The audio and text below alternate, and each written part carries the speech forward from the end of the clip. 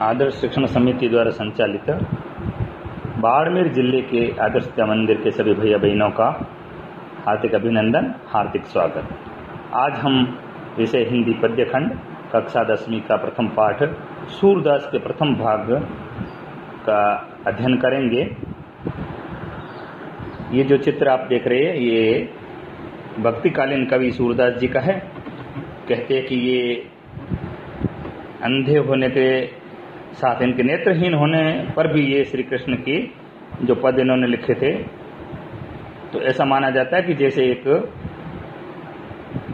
आँखों से युक्त जो व्यक्ति जिस प्रकार की रचना लिख सकता है, इन्होंने नेत्रहीन होने पर भी श्री कृष्ण के बाल रूप और गोपियों से प्रेम के जो पद लिखे थे तो ऐसा लगता था मानो इन्होंने सनेत्र उनको देखा हो। ऐसे पदों का इन्होंने बहुत ही सुंदर वर्णन किया था। तो आइए आगे हम इनके परिचय के बारे में पढ़ते हैं, सूरदास जी का परिचय। इनका जन्म संवत 1540 में और इनका निधन 1620 में हुआ था। ये कृष्ण भक्त कवि माने जाते हैं। इनके जन्म के बारे में और कहा गया है कि ये आगरा और मथुरा के बीच स्थित रुणकता ग्राम में जन्मे थे। परंतु कुछ विद्वान दिल्ली के निकट सिही ग्राम को भी इनकी जन्मस्थली मानते हैं। इनके पिता का नाम रामदास बताया जाता है। वार्ता साहित्य और भक्तमाल के आधार पर ये सारस्वत ब्राह्मण कहे गए। किंतु साहित्य लहरी में एक पद है, जिसमें ये पृथ्वीराज के अमात्य अमात्य का अर्थ है मंत्री, तथा राजकवि चंद्रवरदाई ये वंशज ब्रह्म भट्ट मालूम होते। इस पद में बहुत सी बातें ज्ञात होती है। इसी पद के आधार पर कहा जाता है कि ये नेत्रहीन होने के कारण एक अंधकूप में गिर पड़े थे। छह दिन वहाँ पड़े रहने के बाद भगवान श्री कृष्ण ने इन्हें दर्शन दिए और सनेत्र कर दिया। इस पर सूरदास ने कहा, प्रभु, जिन नेत्रों से आपके दर्शन हुए, अब उनसे मैं सांसारिक पापों को नहीं देखना चाहता। उनके निवेदन से नेत्र सदा के लिए बंद हो गए, लेकिन उन्हें प्रज्ञा चक्षु प्राप्त हो गए सूरदास जन्म से अंधे थे, यह बात विवादास्पद है। इस संबंध में अधिकांश विद्वानों का मत यह है कि वे जीवन के अंतिम समय में अंधे हुए थे। क्योंकि इनका प्रमाण हमें इनके दो पदों से मिलता है। ये पद है, या माया जूठी की लालच दुहुद्र अंध भयो। आचार्य वल्लभ ने अपने सिद्धांतों से सूरदास को दीक्षित किया और उसी समय से उनकी दास्य भाव की भक्ति थी। वो सख्य भाव, अर्थात सखा के रूप में बदल गई, परिणत हो गई। अपने गुरु वल्लभाचार्य की आज्ञा अनुसार इन्होंने ईश्वर की कथा को भाषा में वर्णन करने का कार्य प्रारंभ कर, किया। सूरदास की उपलब्ध रचनाएँ तीन हैं। सूर सागर साहित्य लहरी और सूर सारावत सूर सागर इनका प्रामाणिक अत्युत्तम एवं श्रेष्ठ काव्य ग्रंथ है जो इनकी कीर्ति को अक्षय अर्थात जो कभी नष्ट नहीं हो रखने के लिए पर्याप्त है। सूरदास ने ब्रज भाषा का प्रयोग किया है। इनके पूर्ववर्ती किसी भी कवि की भाषा में काव्य छटा न तो इतनी साहित्यिक है और न इतनी सौंदर्यपूर्ण। ये जो चित्र आप देख रहे हैं, इसमें विरहाग्नि में डूबी शोका कुल गोपियों के चित्र दिखाई दे रहे हैं, ये चित्र उस परिस्थिति को इंगित कर रहे हैं जब श्री कृष्ण गोकुल को छोड़कर और मथुरा की ओर प्रस्थान कर जाते हैं और उनके प्रेम में डूबी, ये गोपियाँ, और इस विरह को सह नहीं पाती है, और वो शोकाकुल हो जाती है, और वो सब कुछ भूलकर और शोकमग्न होकर इस प्रकार की दशा में विरहिणी बन जाती है, ऐसा चित्र ये जो दिखाई दे रहा है। अगला ये जो चित्र है, इसमें उद्धव और गोपी संवाद। कि जब गोकुल को छोड़कर श्री कृष्ण मथुरा की ओर चले गए, तब वहाँ पर श्री कृष्ण को ये पता चला कि गोकुल में तो गोपियाँ विरहन, विरह अग्नि में जल रही है। तब वो उन गोपियों के उस विरह को दूर करने के लिए उद्धव को संदेश वाहक के रूप में और गोकुल भेजते हैं और उनको समझाने का प्रयत्न करते हैं। तो गोपियाँ उनसे संवाद करती है और कुछ ऐसे तर्क रखती है। ऐसा इस पाठ में पढ़ने को मिलेगा तो हम पढ़ते हैं। पाठ परिचय। इस पाठ में? क्या क्या और किस प्रकार की जानकारी हम प्राप्त करेंगे? तो पहले दो पद हम पढ़ेंगे। तो कुल इस पाठ में चार पद हैं। प्रस्तावित पहले पद में कृष्ण और राधे का, के मिलन का वर्णन है। अर्थात ये दोनों जो मिलते हैं तब अपरिचित होते हैं। तो अपरिचय की इस दीवार कृष्ण की पहल से समाप्त होती है। श्री कृष्ण जो अपरिचित राधिका को प्रश्न पूछते हैं और परिचय प्राप्त करने का प्रयास करते हैं। राधिका बहुत चतुराई से कृष्ण की खूबियों खामियों को ब्याज स्तुति में कह जाती है। अंततः कृष्ण राधा को संग खेलने के लिए आमंत्रित करते हैं। शेष तीन पदों में उद्धव और गोपिकाओं के संवाद है। इसे भ्रमर गीत के रूप में जाना जाता है। भ्रमर गीत हिंदी साहित्य में अनुपम है। उद्धव निर्गुण ब्रह्म के प्रवक्ता के रूप में गोकुल आते निर्गुण ब्रह्म, अर्थात ऐसा ईश्वर जो रंग रूप से निराकार है, जो रंगहीन है, जिसका रूप है वो अनेक है और किसी भी आकार में वो नहीं है। ऐसी ईश्वर को मानने की जानकारी देने के लिए वे गोकुल आते हैं। किंतु कृष्ण के सम्मोहन, अर्थात उनके प्रेम में डूबी हुई गोपियों के विचार सुनकर उद्धव जी भी निरुत्तर हो जाते हैं। तो गोपिकाओं के उपालंब, अर्थात वो व्यंग्य से ताने कसती है और विदग्धता और करुणा से भरे हैं।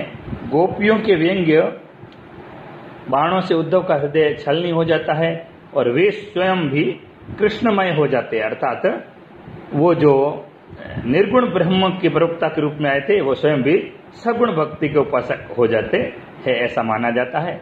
आस्था के समक्ष, उद्धव के सिद्धांत है, वो फीके पड़ जाते हैं। और ये सारे पद है, ये सस्वर गाने के योग्य भी है। इन पदों को बहुत ही सुंदर करने के लिए इसमें श्लेष और अनुप्रास अलंकार का भी बहुत अच्छा सम्मिश्रण सूरदास जी ने अपने इन पदों में किया है। इन पदों को पढ़ने से पहले हम कुछ कठिन शब्दार्थों को जान लेंगे, जिससे कि हमारे ये पद हमको बहुत अच्छी तरह से समझ में आ जाए। खोरी, अर्थात गली, ढोटा, पुत्र, अंकोर, रिश्वत, मधुबन, मथुरा, मसी, स्याही अघात प्रश्न होना, खुश होना। पौरी, दहलीज, भुर्रई, बहकाना, ब्रह्म में डालना। भौर, भ्रमर या भंवरा। शोध, खोज, सरदव सरकंडों के जंगल। सुहात रुचिकर या अच्छा लगना। श्रवणन, कानों से। तनक, जरासी, तनिक। सर्वस, सर्वस्व, सब कुछ। प्रमोघी वश में करना। दाख, यानी किसमिस। ये इनके कठिन शब्द हमने देखे। अब हम आगे प्रथम दो पदों का वर्णन पढ़ेंगे और उसका अर्थ भी मैं समझाऊँगा, जो आप ध्यान से सुनेंगे। तो पहला पद है, बूझत श्याम कौन तू गोरी? कहा रहती काकी है बेटी? देखी नहीं कब हूँ ब्रज खोरी? काहे को हम ब्रज तनावती? खेलत रहती अपनी पोरी, सुनत रहती श्रवणी नंद ढोटा करत फिरत माखन दधी चोरी। तुमरो कहा हम चोरी ले हैं? खेलन चलो संग मिली जोरी। सूरदास प्रभु रसिक, शिरोमणि बातनी भुरई राधिका भोर। इस पद में, जैसा कि हमने पाठ परिचय में देखा था कि अपरिचय की कड़ी में श्री कृष्ण उस कड़ी को आगे बताते हुए परिचित होने का प्रयास करते हैं। तो बूझत श्याम कौन तू गोरी? श्री कृष्ण है, वो राधिका से पूछते हे गोरी, तुम कौन हो? कहाँ रहती, काकी है, बेटी? कहाँ रहती है और किसकी बेटी हो? देखी नहीं कब हूँ ब्रज खोरी? कि तुम्हें ब्रज की गलियों में तो कभी नहीं देखा? तो राधिका उत्तर देती है काहे को हम ब्रज तनावती खेलत रहती है अपनी पोरी? कि मैं ब्रज क्यों आऊँ? मैं तो अपने ही चौखट पर, अपने ही द्वार पर, अपनी ही गलियों में वहीं खेलती रहती हूँ। यहाँ मैं क्यों आऊँ? सुनत रहती श्रवणी नंद डोटा लेकिन मैं ये सुनती रहती हूँ कि नंद बाबा का जो लड़का है, करत फिरत माखन दधी चोरी। कि वो माखन और दही की चोरी करता फिरता है। तो श्री कृष्ण राधिका की इस प्रकार की बात सुनकर और कहते हैं, तुमरो कहा चोरी हम ले हैं। खेलन चलो संग मिली जोरी कि तुम्हारा मैं क्या चुराऊँगा? इसलिए तुम तो इन बातों को छोड़ो और मेरे साथ खेलने के लिए चलो। सूरदास प्रभु रसिक शिरोमणि।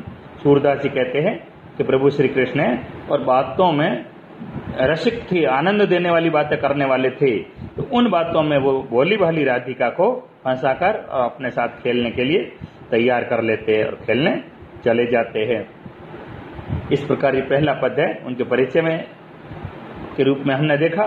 दूसरा पद है जिसमें हमने वो चित्र देखा था, जिसमें कि उद्धव है, गोपियों के साथ संवाद करते हैं। निर्गुण ब्रह्म के बारे में वो उनको बताते हैं।